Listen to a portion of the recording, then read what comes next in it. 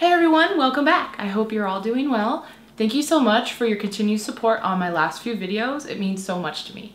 And if you haven't yet, make sure you subscribe to my YouTube and follow me on Twitch at twitch.tv slash clockworkjules. So this video needs a lot less explanation than my last video.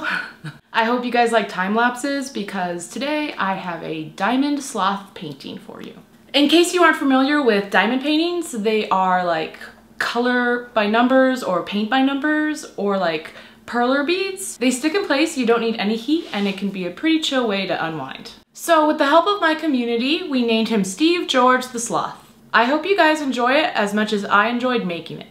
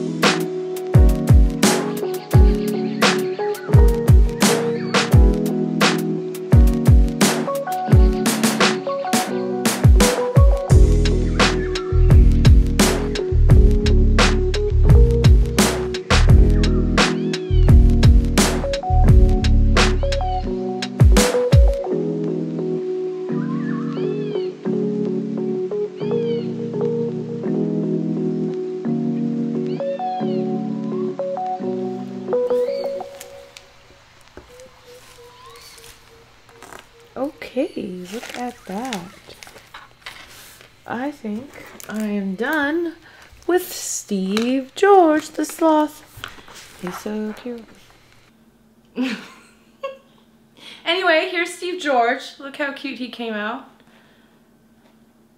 But yeah, I hope you enjoy my video and thank you so much for watching.